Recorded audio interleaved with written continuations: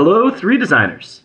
This is Joshua St. John, 3 Design NYC on the forum, and welcome to another installment of the video demonstration series.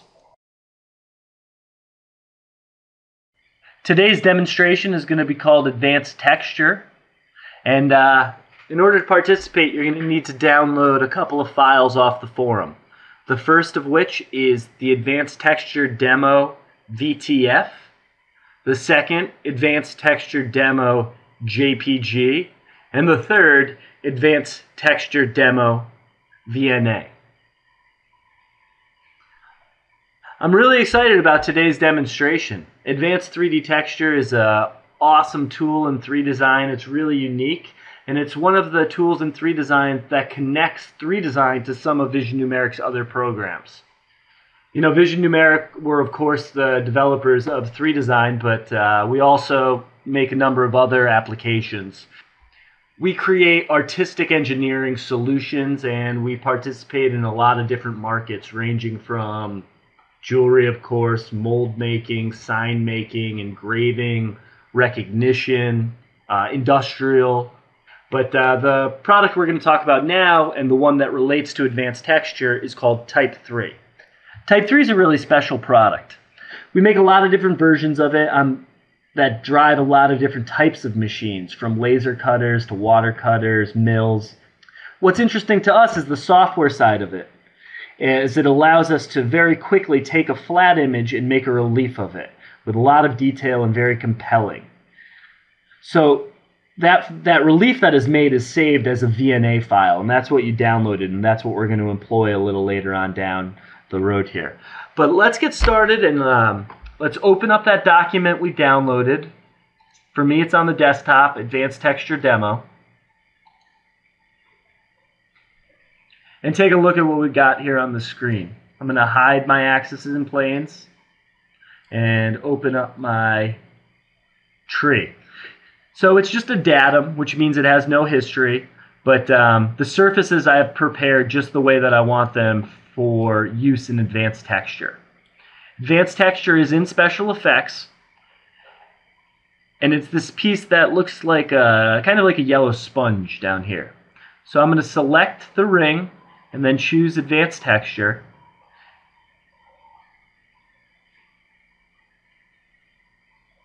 So we're going to open up our properties down here and take a look at what we got. Material, 18 karat yellow gold, happy with that. Precision, we'll leave it in the middle. This stuff should be familiar to you. Now our first tab is called pattern. And underneath pattern we have source type, VNA file, which is the type 3 product, type art. Um, image, which would be like a JPEG or a bitmap, and texture. Well, we'll talk about these three, and we're going to start off with texture. Texture, we don't need any external file for. It's all contained within the function. I don't need to import anything in. So uh, in order to access the texture, I just double click on the texture and this little widget pops up. And this widget has all these slide bars and uh, parameters that I can change and view to make different texture patterns. So this is all under stone. If I go down and change it to concentric circles, preview what that looks like. I get this circle. I need uh, more of an offset, like a stripe depth. We'll change that to 0.5 millimeter. Now you'll see I have this much deeper kind of cut. I'm going to leave it on stone and I'm going to set the parameters like so. And then validate that. I'm not going to click on make tileable and I'll show you why and what that does.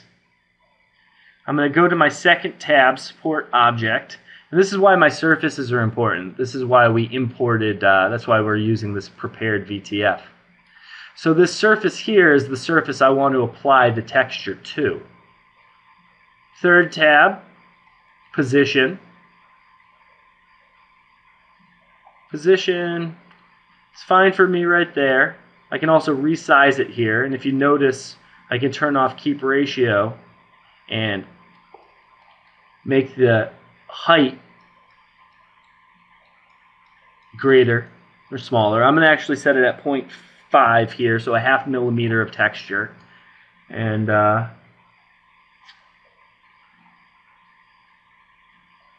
going to move to the next tab, duplication. Smooth edges, that's good. Duplicate pattern, yes. And I'm just going to go ahead and validate. And boom, look at that. That texture that we set up is applied to all of those surfaces very quickly. And I didn't need to import anything in to do that. Go to my texture widget, adjust this a little, preview it, try something different just to show you the results. Not have, there we go, and validate. And boom. But notice, it, it kind of looks like patchwork almost. If you can see the texture is not covering it up enough in this one, so we see this patchwork quality happening. I'm going to double click back on, and remember this tab, Make Tileable? I'm going to hit Make Tileable, and now validate again and see what happens.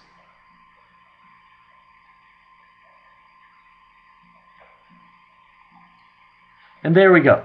That tiling quality is gone. So Make Tileable actually gets rid of the tiling effect you're getting an idea for what advanced texture does. It adds texture. Let's switch to the next tab and try image.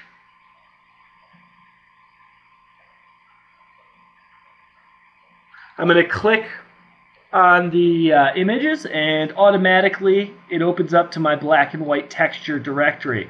These files are also available on the forum for you. And these are just black and white images. Bricks. Open that up.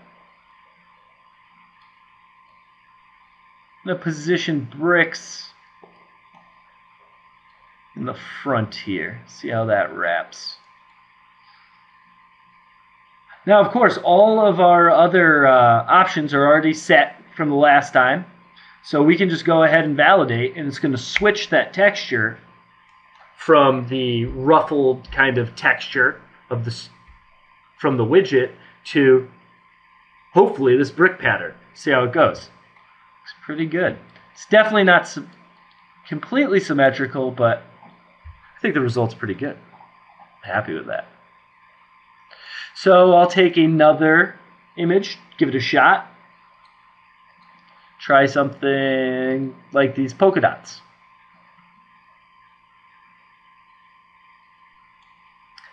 Interesting. So you, you see, it's taking these these images and it's basically assigning a depth to the color of the pixel. So if you were to take black, if you take a grayscale, black is zero height, white is one. This this image tool is taking it and assigning a value to the height based on the the color.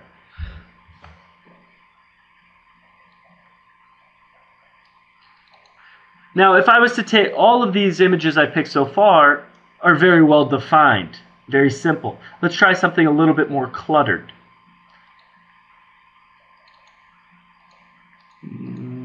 We'll go with something like that marble. Validate that.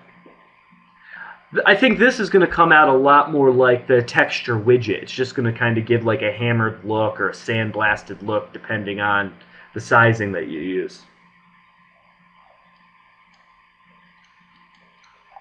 This one's kind of interesting because it adds that kind of uh, striations.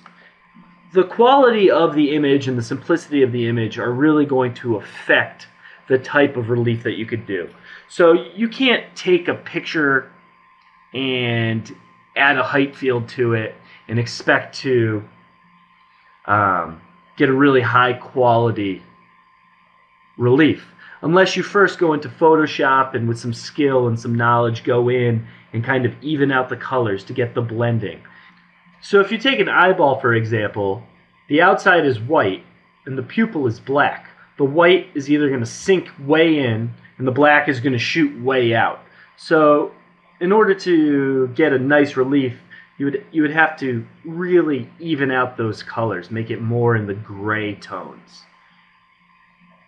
So that's enough about image. You guys can play as much as you want with that. Download as many images as you can find. Post your results on the forum. We would definitely love to see uh, this black and white library grow.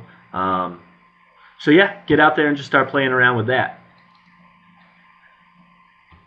The next tab that we're going to look at, source type, is VNA file. And as I mentioned before, this is the type 3 file format. So in order to demonstrate that first, I'm going to hop right in to type 3 and show you how to make a relief of a fleur-de-lis.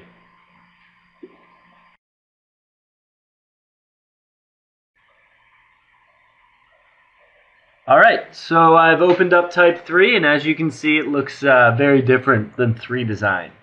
And I'm going to start off by importing a JPEG of the fleur-de-lis that I want to do the relief.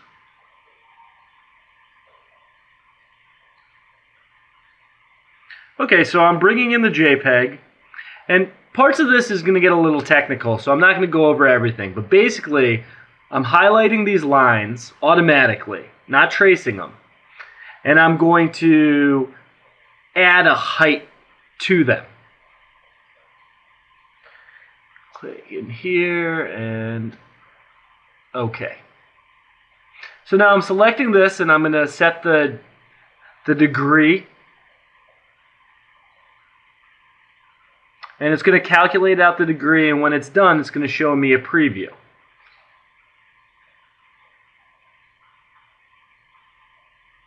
So yeah, th that's basically it. I've created the height field from the 2D lines. And now I'm going to do some last little details, give some smoothing, and uh, export it as a VNA for use in 3 Design. The VNA you've downloaded, you found it on the forum. It's called Advanced Texture VNA now. I'm saving it as Fleur-de-Lis. VNA and save and export. And that's uh that's type 3. That's how powerful it is. That's how intuitive it is. But that is just the tip of the iceberg of what it can do. We'll get back to more of that. We'll talk about some other places you can get the VNAs. We'll head back into 3 Design now to finish up this ring we've been working on.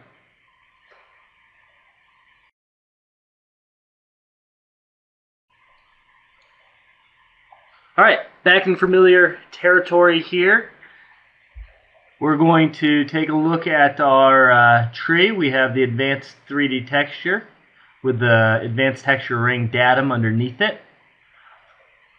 It's interesting to point out that this object, now that we've applied the advanced 3D texture to it, is no longer recognized by the part doctor as a, as a uh, as an object. You can't select it. It's a lot like an STL at this point. It's already been turned into a mesh. But it is interesting to note that you can apply a second texture on top of it. So I'm going to click on the X and find the VNA I just made, select that, and it brings it in as such. I can move this all around anywhere I want on the piece. For this, I'm going to try to center it. Like so. Get it from the front view. That looks pretty good, pretty flat. Going to pick the source object. Notice I can't choose for faces anymore. I can only uh, have my source object. And I'm going to rotate it into position, scale it up.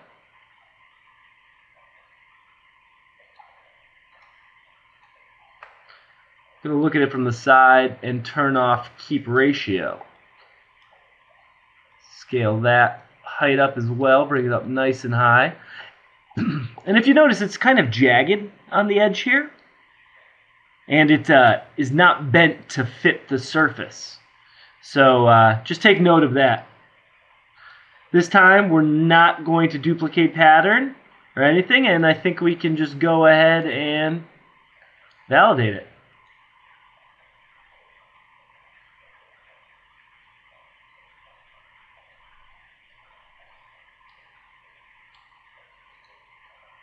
Perfect.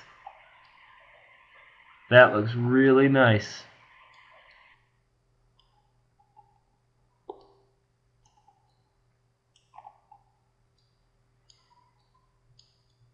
Yeah, that's pretty cool.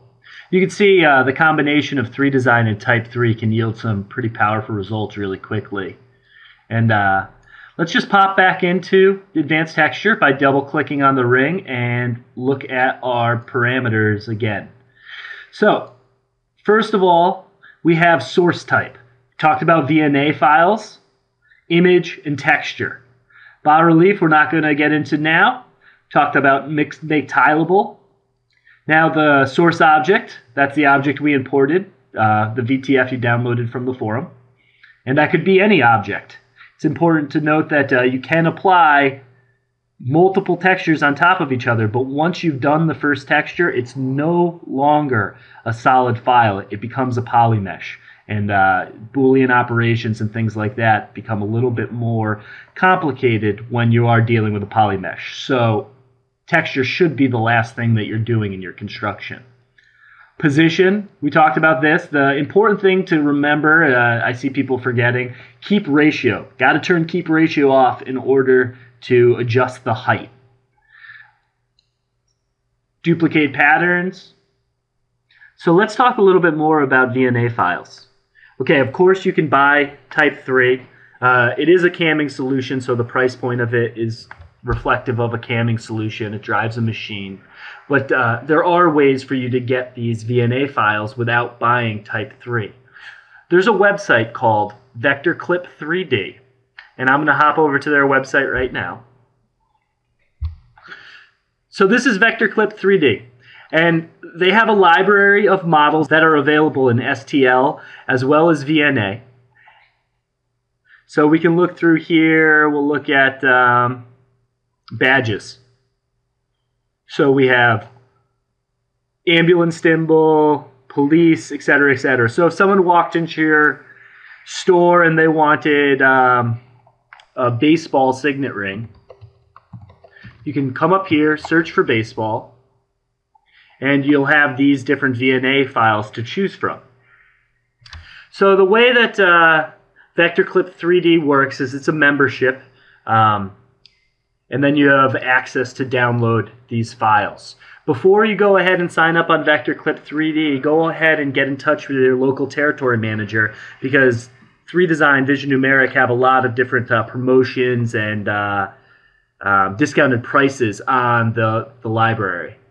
So this is a great source for you to get your VNA files. I think it's going to meet 90% of your needs. And then if you fall into the category of users who type 3 may be interesting, again, get in touch with the territory manager and we can discuss uh, type 3 and what that looks like.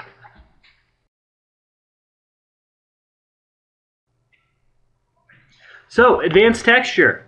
It's an amazing tool. It provides a bridge between 3 Design and Type 3, our other product. Vector Clip 3D, the online library of these files, is going to be a great resource for all of you. Um, as always, get up on the forum, discuss these videos, post your questions. I'll try to get to them as soon as possible. Uh, I really enjoyed this demo. I think it's uh, a really unique tool that 3 Design offers, and um, and I look forward to continuing the video demonstration series. Again, this is Joshua St. John, 3 Design NYC at the forum. We'll see you next time.